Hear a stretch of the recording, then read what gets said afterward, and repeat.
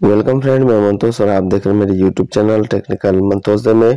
So friends आज के इस वीडियो में हम लोग बात करने वाले हैं कि अगर आप यूटीएस ऐप्स को यूज़ करते हैं फ्रेंड्स और आपने यूटीएस में अपना यूज़र आईडी और पासवर्ड को बना रखा है, लेकिन आपने अपना पासवर्ड को भूल चुके हैं फ्रेंड्स तो आप किस तरह से यू ऐप्स में दोबारा से पासवर्ड को क्रिएट कीजिएगा तो इसकी कंप्लीट जानकारी इस वीडियो में बताया गया है। तो वीडियो को शुरू करने से पहले आप सभी से एक रिक्वेस्ट है, अगर आप मेरे चैनल में नए आए हैं तो मेरे चैनल को सब्सक्राइब कर दें और बेल आइकन को प्रेस करके नोटिफिकेशन बिल को ऑन कर दें, ताकि मेरे लेटेस्ट वीडियो के अपडेट आप तक पहुँच सके। तो चलिए फ्रेंड्स वीडियो को शुरू करते हैं।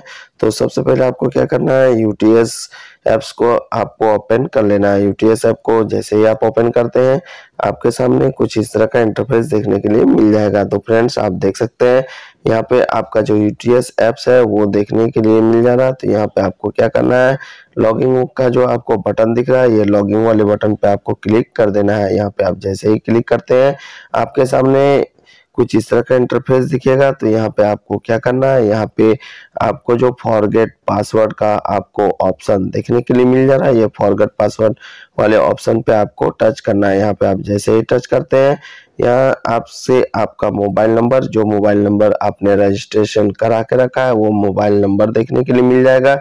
उस वाले मोबाइल नंबर पे आपका जो ओ है, वो जाएगा। तो यहाँ पे आपको क्या करना है? जनरेट ओ वाले जो बटन दिख रहा है, इस पे आपको टच कर देना है यहाँ पे, आप जैसे ही टच करते हैं। आपका जो रजिस्टर्ड मोबाइल नंबर है, उस मोबाइल नंबर पे ओटीपी जा चुका है। उस वाले ओटीपी को आपको यहाँ पे फिल कर देना है। तो चलिए, पहले हम लोग ओटीपी को फिल कर लेते हैं।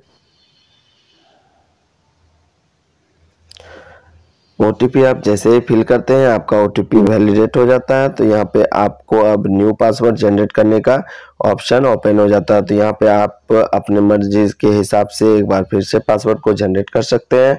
तो यहाँ पे आपको एक बार पासवर्ड को फिल कर देना है उसके बाद एक बार यहाँ पे फिर से आपका जो पासवर्ड है, उसको फिल कर देना है और उसके बाद सबमिट पे क्लिक कर देना। है तो चलिए हम लोग पासवर्ड को फटाफट से बना लेते हैं।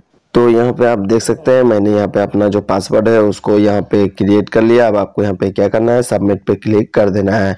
जैसे आप सबमिट पे क्लिक करते हैं, आपका जो पासवर्ड है वो सक्सेसफुली चेंज हो जाएगा, आपका जो पासवर्ड है वो नया बन जाएगा। तो इस तरह से फ्रेंड्स आप देख सकते हैं, यहाँ पे आपको लिखा हुआ दिख रहा है पासवर्ड चेंज सक्सेसफुली तो अगर आप यू यूटीएस ऐप्स में अपने पासवर्ड को भूल चुके हैं, अपने पासवर्ड को याद नहीं कर पा रहे हैं तो आप आसानी से इस वीडियो की हेल्प से पासवर्ड को चेंज कर सकते हैं। तो आशा करते हैं, ये वीडियो आपको पूरी तरह समझ में आ गया। अगर मेरा वीडियो आपको अच्छा लगा है तो मेरे वीडियो पे एक लाइक कर दीजिएगा। और अगर मेरे चैनल में नया है तो मेरे चैनल को सब्सक्राइब कर दीजिएगा वीडियो को लास्ट तक देखने के लिए। Thank you.